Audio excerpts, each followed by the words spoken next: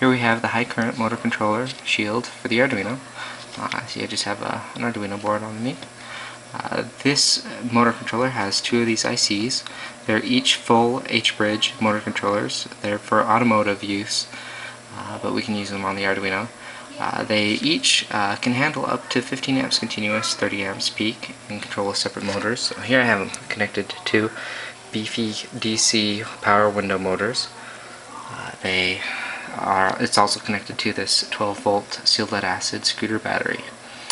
Now these can each handle 15 amps continuous, 30 amps peak, or you can do something special and you can make one a high side and the low side and connect it up to uh, a single DC motor and, and do 30 amps continuous, 60 amps peak. Now we're going to turn these on here. I just have a simple simple uh, interface here. And we'll put them at about, I think this is about half speed. Yeah. Let's go even faster. And I'm speeding up.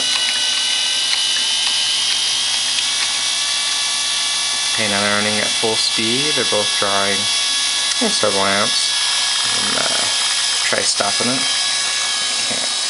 Ah! You can see the, motor, the current is going up a bit. But anyway, uh, we'll slow them down.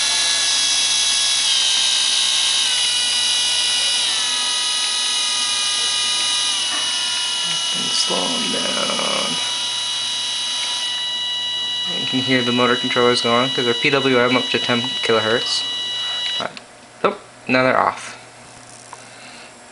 And this thing, oh, it's a little warm. Barely, can barely feel it. It handles that, no problem.